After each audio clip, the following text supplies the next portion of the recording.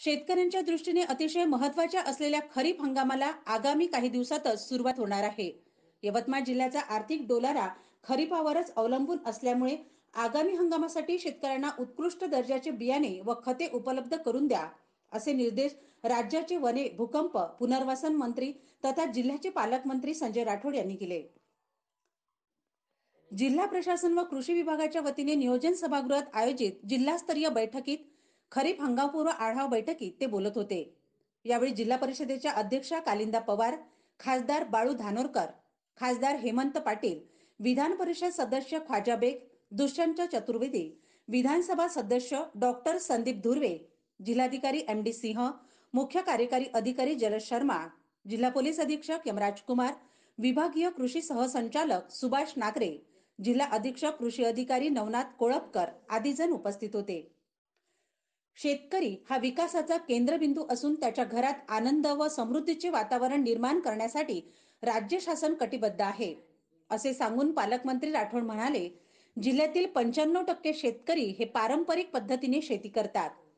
कापूस सोयाबीन तूर उडीद ज्वारी आदी पिकांची जिल्ह्यात मोठ्या प्रमाणात लागवड होते.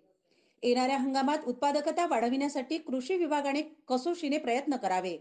त्यासाठी शेतकऱ्यांना चांगल्या दर्जाचे बियाणे खते व कीटकनाशके त्वरित उपलब्ध करून द्या. या बाबींचा तुटवडा जाणवून देऊ नका. जिल्ह्यात बियाणे व खतांचा रॅक पॉइंट वाढवा. नानाजी देशमुख कृषी संजीवनी योजनेअंतर्गत शेतकऱ्यांना लाभ द्या. कृषी विभागाद्वारे अंमलबजावणी होत असलेल्या विविध योजनांची माहिती शेतकऱ्यांपर्यंत पोहोचविणे आवश्यक आहे. यासाठी ग्रामस्तरावरील कृषी सहाय्यकांना प्रशिक्षण द्यावे. कृषी विभागातर्फे विकसित करण्यात आलेल्या ॲपमध्ये शेतकऱ्यांना यथोगाता त्यांचे अनुभव फळबाग संबंधी लागवड आदींचा समावेश करावा. गोपीनाथ मुंडे शेतकरी अपघात विमा योजनेचा लाभ शेतकऱ्यांच्या कुटुंबाला त्वरित मिळाला पाहिजे. या योजनेअंतर्गत प्रलंबित प्रकरणे त्वरित निकाली काढा. लाभ देण्यात जाणीवपूर्वक दिरंगाई होत असेल तर त्यांच्यावर कारवाई करावी असे निर्देश त्यांनी प्रशासनाला दिले. जमिनीचे नियमित परीक्षण तपासणी होणे गरजेचे आहे. येणाऱ्या हंगामात कीटकनाशक विषबाधा होऊ नये यासाठी आतापासूनच संरक्षण किटचे नियोजन करा. तसेच शेतकऱ्यासाठी तालुका स्तरावर हेल्पलाईन क्रमांक व तक्रार निवारण केंद्र सुरू करा. पीक कर्ज वाटपाबाबत दिलेल्या उद्दिष्टांप्रमाणे बँकांनी कर्ज वाटप करावे अशा सूचना पालकमंत्र्यांनी केल्या सादरीकरण करताना जिल्हाधिकारी म्हणाले जिल्ह्यात चालू वर्षाकरिता पंधरा हजार शेततळे तसेच ऐंशी टक्के पीक कर्ज वाटप करण्याचे नियोजन करण्यात आले आहे.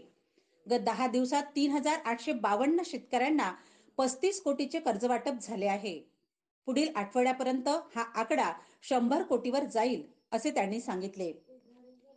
यावेळी पालकमंत्र्यांनी गत पाच वर्षातील क्षेत्र व उत्पादकता हवामान पीक पद्धती बियाणे व खतांचा पुरवठा व विक्री प्रधानमंत्री पीक विमा योजना गोपीनाथ मुंडे शेतकरी अपघात योजना भाऊसाहेब फुंडकर फळबाग लागवड योजना नानाजी देशमुख कृषी संजीवनी प्रकल्प खरीप कर्ज वाटप कापूस खरेदी केंद्र आदींचा त्यांनी आढावा घेतला.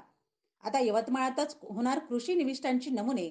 तपासणी लागवड क्षेत्रानुसार उत्पादकता वाढविण्यासाठी कृषी निविष्ठांची नमुने तपासणी अत्यंत महत्वाची बाब आहे.